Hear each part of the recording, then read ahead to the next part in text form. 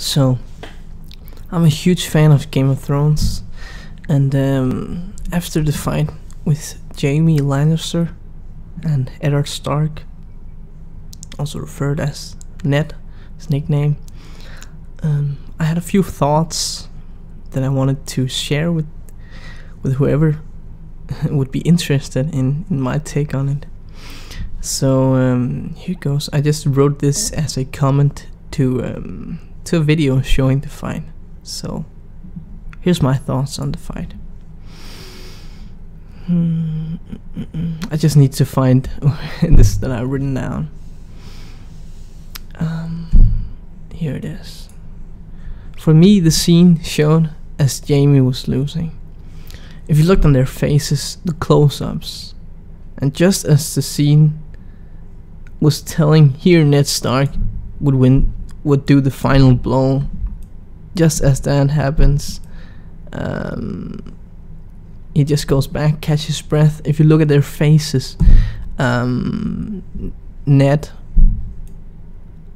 was looking a lot more determined and and, and, he almost looked a bit frightened, uh, Jaime. But uh, of course, uh, Jaime has this sense of honor in that he that he don't want people to. Also, because of you know the they call him Kingslayer behind his back, etc. He, he he's not fond of that. He wants people to respect him. So he didn't want the fight to end the way it did he'd rather die and you could also that's also how I feel you could see that he was willing to die but uh, it, it's seen in their faces that's that's the real story of the um, of the fight that's not how they fight. Um, it is the face expressions because that's telling a lot more who would win or lose in my opinion. Uh, this is storytelling so so yeah and i'm not i'm not sticking to what i wrote. I'm sorry about that but then i, I just make my own words. Yeah um i'll, I'll probably i do that a lot because i didn't read the things that i wrote but i also just talk my mind so i may say the same thing a couple of times so sorry about that uh, some someone interferes. Uh, I lost it. I have to scroll from left to right because it's yeah I'm using a notepad. Not really the best program.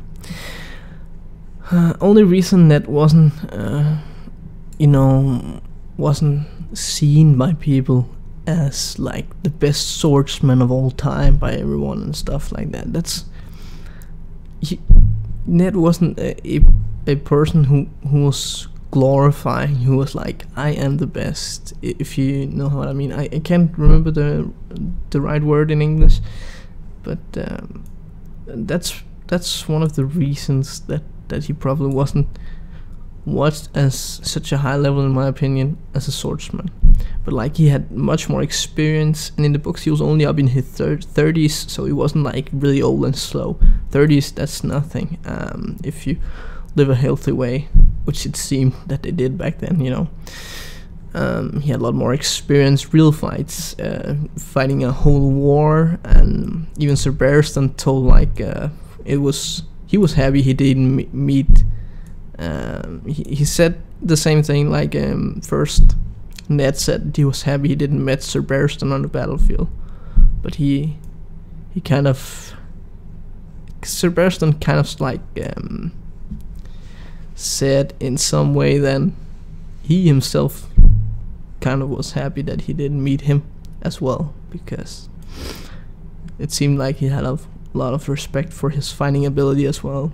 Um, so, hmm, let's see.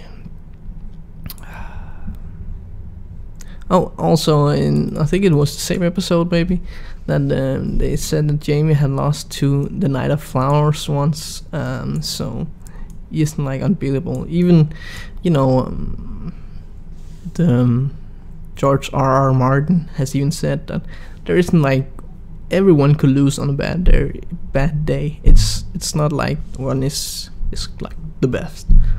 but just my interpretation of the fight was that in the facial expressions, the the fight was in the fight was told in the facial expressions and that uh, Edos was winning.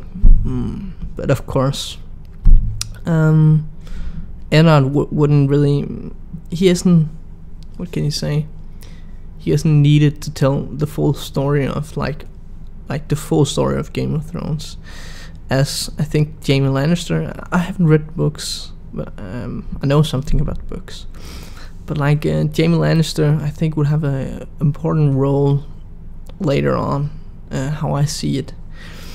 Um, I want um, like I had a lot of thoughts about that, but this was only about the fight video. I can maybe talk that about that in some other time. But uh, yeah, let's get on with the next text that I wrote.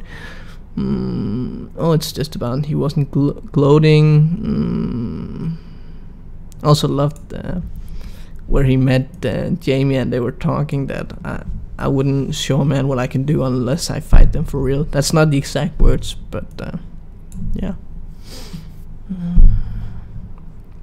Uh, kind of a sad thing you can say actually, but um, it it fits the character Jaime Lannister. Um, he would actually have. I don't know if you can say the word loved, but he would have liked to die this way. Uh, it seems like he's one who's who always wanted to die fighting. Um, uh, also, he's he's a very he's selfish in a lot of ways, but he wants to be the best, and he wants recognition for it as well. Um, and also, he's he, he has his honor code. You can say he he, he hates like being called the Kingslayer and and people talk behind his back. He wants respect. So he won. He hated that fight ended out the way it did. He'd rather have died than what happened. It seemed to me. Um, but uh, again, that's like the end I just wrote here. But again, like Jaime is more needed in the overall telling of the story compared to Ned. So that's just my quick thoughts about the fight and my interpretation of it. Um, so I hope uh, someone out there think that it was um, fun listening to my interpretation and also um, just hope uh, you enjoy the show. Now it's almost starting with season 3 and I season 3 and I can't wait. So I hope you're feeling the same way. So yeah. Have a great day and see you some other time perhaps. Bye